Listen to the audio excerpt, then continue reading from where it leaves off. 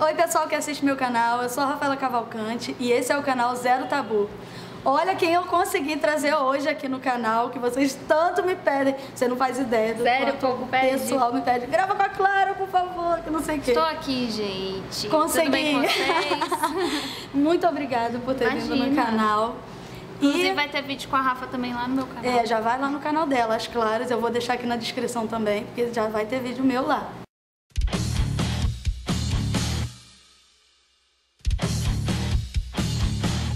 É, primeiramente, né? É, para as poucas pessoas que não te conhecem, né? Porque provavelmente todo mundo que está no meu canal te conhece, porque é o mesmo, a mesma vibe, né? É, conta como você chegou no YouTube, sobre é, como você foi pro Big Brother etc. Bom, eu fui parar no Big Brother por uma brincadeira de me inscrever, assim, tipo, meu irmão falou, eu aposto que se você se inscrever, você vai ser chamada. Eu nunca tive interesse de entrar, Sério? não assistia nada. E aí me inscrevi, fui fazendo as seletivas, quando eu vi os caras, tipo, e aí, você vai hoje? Eu falei, tá bom, vou, fui. Caramba! Aí foi essa loucura. E o YouTube foi depois do Big Brother, né? Como eu sempre trabalhei como cangueiro, eu já tinha esse histórico com sexo e também, né, gosto de fazer, né? Tem propriedade para falar. Aí eu resolvi fazer um canal assim que falasse mais abertamente sobre o assunto, porque eu achava que não existia nenhum no YouTube que as pessoas realmente falassem 100% abertamente. É, abertamente. Muito, muitas pessoas Era falam muito forma muito técnico, travada, né? Real, isso que eu reparei no seu canal, a primeira coisa que eu reparei e adorei, porque eu não gosto desses termos muito técnicos. Eu gosto de Nossa, ver as pessoas não, sendo- eu gosto tipo de falar palavrão. Isso, ser espontânea, né? Exatamente. Eu gosto disso também. E por isso o teu canal foi tão diferente do normal e tal. E você era Kangaroo, então, antes de entrar pro Já Big fui por pro Big 11 Brother. anos. 11 anos, gente. É Uhum. muita experiência no, no negócio. E quando você foi pro, pro Big Brother, essa exposição te atrapalhou em alguma coisa? Eu acho que não, acho que até hoje, ah, eu sempre, desde antes do Big Brother, sempre fui uma pessoa que gostei muito de me expor. Na época tinha Fotolog, Orkut e tudo, e eu sempre fui uma pessoa que gostava de aparecer. Aham. Então, pra mim não teve problema. Até quando eu entrei lá, eu pensei, tipo, ah, será que eu conto pro pessoal da casa? Será que eu não conto? Tipo, obviamente que eu sabia que fora todo mundo já sabia. Aí eu falei, foda-se, vou falar quem É, eu até sou. bom que chamou se- atenção pra Se caramba. gostar, gostou. Se não gostar, foda-se. E foi a pessoa, na minha opinião, né, naquela, naquela edição, foi a pessoa que mais chamou atenção. Porque Eu acho além de você falar, chamou bastante atenção. você foi muito espontânea. Você, tipo, foda-se, você é o que eu sou e tô nem aí. E isso, isso é, muito eu fui raro lá. 100% eu mesmo. Todo mundo vai com aquela coisa de tipo, meu Deus, eu tenho que jogar, eu tenho que fazer isso pra poder ganhar no Exatamente. final e tal. E, e depois mesmo assim você não sofreu preconceito? Ah, isso sempre, né? É Sofri complicado. antes, durante, depois. Meu Deus. Sempre sofri muito preconceito, mas eu aprendi a lidar com isso desde muito nova. Porque eu comecei com 18 anos. Aí eu tinha um namorado na época e ele falou pra mim: se você começar a ficar famosa no site, você sabe que você vai começar a sofrer os, os- as consequências disso, né? Você É. tá preparada? É isso que você quer mesmo? Eu falei: tô, é isso que eu quero. E se eu for entrar nessa, eu quero ser a melhor. E aí eu entrei, tipo, trabalhava pra caralho, fui a melhor do site, e aí, tipo, isso pra mim é, valia mais a pena do que ficar me preocupando com quem tava cuidando da minha vida. É. Às vezes eu olhava e falava, meu, o que essa menina do rolê tá falando da minha vida? Tá ganhando Olha- mais do que todo mundo. A vida dela e olha a minha. É. E ainda tô aqui fazendo o que eu gosto, ganhando muito dinheiro pra isso. Né? Então, tipo, E tinha as próprias meninas do site que ficavam com inveja e ainda sim, as queriam te próprias do site mesmo, queria né? fuder tudo. Era, Nossa, cara, mulher complicada. era um pesadelo, assim, na época, era foda. Eu vi, eh, você, agora ela tá com uma série no canal dela que ela É, tá contando desde contando o tudo, começo. desde o começo. E eu fiquei passada com as histórias de tipo. É é, uma querendo passar a perna na outra. Em vez de uma se ajudar, né? Todo mundo ficar feliz, não. Viu que você cresceu e já quer te derrubar. Ah, mas mulher, adiantou né, nada. infelizmente, as mulheres ainda são assim, em tudo. Acabou que elas conseguiram o contrário, né? Você ficou cada vez mais famosa e foi parar no Big Brother. e pousou pra Playboy. Eu, tipo, Foi pra sexy. Não? Foi, Foi pra, pra sexy? sexy. Com aquela menina, né? Não, foi sozinha. E aquelas fotos com aquela menina? Eu fiz com a foto com a Vanessa, mas foi pro paparazzo. Ah, não foi nua, só foi, não, tipo, foi sensual. Só sensual, ah, não foi totalmente E eu crente, crente que não tinha conseguido ver as fotos completas, eu já tava desesperada. Meu Deus, eu quero essas fotos. Não, não foi. Só foi a sensual, então. Uhum. Então não perdi nada. não, tá em dia. tá em dia. E agora você tá casada, né, com filhinho. Como é que tá a vida agora? Bom, eu sou casada, já vai fazer três anos. E, ai, tá muito maravilhosa. Eu amo ser mãe, é a melhor parte da minha vida. Sério? Tenho dois filhos, na verdade, um de seis e um de dez meses.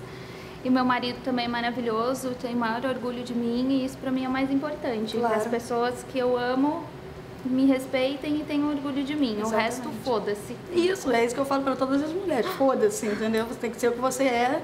E quem gostar de você assim é porque gosta e de é você. E é até bom a gente se expor, porque a gente sabe que quem chega, que quer ser nosso amigo, realmente quer ser amigo porque gosta da isso gente. mesmo. Não rola falsidade, porque uma pessoa que não aguenta uma pessoa, por exemplo, que se expõe igual você, que se expõe igual a mim, ela não vai conseguir ser, Nem chega ser perto. amiga. Acaba selecionando mais Uhum. e acaba tendo melhores amigos. Eu até falava isso pro meu marido, que ele odeia se expor.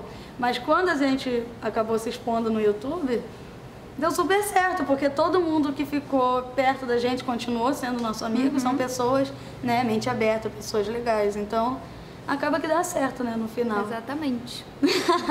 É, por exemplo, eu tenho amigas que são é, e etc. E elas me contam muitas coisas assim bem diferentes que os caras pedem. Qual foram as coisas assim mais diferentes que, que te pediram na Ah, existe muito cara bizarro, meu. Principalmente pediram muita coisa, eles pedem muita coisa estranha. Tem cara que pede só pra ficar com a câmera no pé, fica tipo, só olhando o pé por horas. Já teve cara que pediu pra me ver dormir. Meu Deus! Esse é aqueles psicopatas que Cara que pede pra ver comer, fazer xixi, cocô. Mas Xixi cocô eu acho que é o mais comum que Xixi acontece. eu já fiz na cama. Mas eu pedi muita grana pro cara. Eu falei, se você mandar uma gorjeta muito grande. Ah, pode dar gorjeta, tipo, é porque o no site, site, que né, eu tava, podia. o site você vai né, ganhando com o tempo, né, mas aí ele pode te dar mais. Uhum. Tem, tem uns que podem. Ah, que legal isso. Aí pode dar pra. Mas tem muito cara bizarro, assim, que pede umas coisas muito estranhas. Pede pra ficar assistindo eles também, tipo, se torturando. Ah, eles se torturando. Aham, e você lá só. É bom ter menos trabalho, né? É bem tranquilo. Tudo que você imaginar já pediram. Eu acho que tem muita menina que tem medo de entrar, porque acha que, sei lá, os caras vão querer foder com elas, né? Ah, eu era muito é ao chata, desde o começo, sempre eu falei, meu, se eu não colocar limite, eu vou ser essas meninas que fazem qualquer Não, coisa realmente. por dinheiro. Tem que fazer o que você gosta. E eu que- fazia o que eu gostava, tanto é que eu consegui ficar 11 anos nisso, né? É, e fica muito mais natural quando você faz Uhum. o que você gosta, o cara volta, né? Ele vê que você gosta do, do negócio. Exatamente. Eu nunca daria certo como cangirl porque eu não sei fazer coisas na câmera. Mas você falou que você gosta de dominar, tem muito cara que gosta. É, mas eu gosto assim, entendeu? Na real, dar uns tapão na cara, assim. Como é que eu vou dar um tapão na cara do. Entende? Eu ia ficar Aí não muito perdida. como, eu né? ia ficar, gente, o que, que eu vou fazer? Aí eles gostam que fica xingando, tem uns até que Xingando. pede pra fingir que tá batendo. Eu ia começar a rir. É, eu Você não problema. ria, não. Ria, às vezes Eu eu, ia tive que a tirar rir. a minha cara da câmera pra dar risada. Tipo, finge que tá batendo, você bate no ar. eu tive uma amiga que eu, o cara pediu pra ela, sei lá, enforcar o urso, sabe? É, Como eles pedem, ele. eles pedem essas coisas. Aí tipo, imagina eu lá enforcando o urso, eu ia morrer Tipo, você tem um ursinho, aí às vezes tipo, pede pra tipo, ficar sentando no urso. É muita bizarrice. Tá vendo que eu fazia na infância já ia dar dinheiro. Com certeza, ia dar bastante. Ai, adorei. E, e esse risco da exposição corre, tipo, da pessoa, tipo, conseguir gravar um vídeo teu e botar na internet. Sempre rolou isso, sempre Ai, que rolou. povinho, filho da puta, cara. Até dá pra tirar, tipo, eu já pensei em pedir pra tirar, mesmo porque eu ainda tô num site que tá vendendo vídeo, então eu tô perdendo dinheiro, né? É. Mas nossa, é tanto vídeo já meu que tem que dá até preguiça. Se alguém quiser fazer esse trabalho pra mim, Né, gente? Chega lá, denunciar, porque já, já Não, faço você manda e-mail pro site, tipo, Xvideos, assim, você manda e-mail na hora eles tiram. Ah, é? Uhum, é bem fácil de tirar, mas, nossa, Tem muita coisa, de né? De todos. E quando você vende, você acaba perdendo rolou, dinheiro. né? tipo, aí, principalmente de menina que tem medo, assim, da exposição, aí que eles vão mesmo, né? Tem muita mulher que vai lá e grava e coloca só pra, tipo, É. ai, se eu, se eu vazar o vídeo dela, ela vai parar de trabalhar e não vai mais ter Não. concorrência. E não acontece, né? Porque aí ela já pensa, agora já foi mesmo, uhum. aí já começa a mostrar o rosto. Exatamente. já começa a aloprar. No meu caso, né, eu nunca liguei, não. Você sempre mostrou o rosto, né? Sempre, sempre. Nossa, é, isso é difícil também no site. Que eu vejo que a maioria lá usa máscara ou é, põe foto sem rosto, assim. Sempre porque... mostrei tudo. Até porque as tatuagens também. No começo eu não tinha tanta tatuagem, né? Mas já ah, tinha algumas. Sim. Entendi. E entrega bastante. No meu caso, se eu ficasse pelado, já todo mundo ia saber. Olha lá, Rafael. É, hoje em dia, se eu quisesse esconder alguma coisa não com tem coisa... tatuagem, não, não tem. Só se eu colasse minha cara no, no corpo de outra pessoa. já faz igual Dória, já fica lá como. Exatamente. Não, gente, aquilo ali foi uma montagem. Já fiz uh. demência. O quê? Exatamente. Quem nunca? E é isso, gente. Esse foi o vídeo de hoje. Espero que vocês tenham gostado. Quem gostou, curta aqui. Já vai se inscrevendo no canal. E se inscreve no canal da Clara. Porque, vai lá cara, vídeo, e tá muito bom o canal dela com esse negócio dessas histórias aí. Vocês sabem desde o início, nos mínimos detalhes. Tô coisa que, né, lá. Coisa que ela não conta aqui, ela conta lá. Então tem que ir lá pra ver, gente. Tá maravilhoso. Obrigada, gente. Beijo. Tchau.